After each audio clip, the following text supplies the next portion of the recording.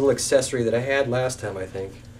It's a copy card from uh, a store that I was around the corner where I lived in Germany. So I'm going to just do something here. This is a tune called Seat 3A. I think you'll like this one. So.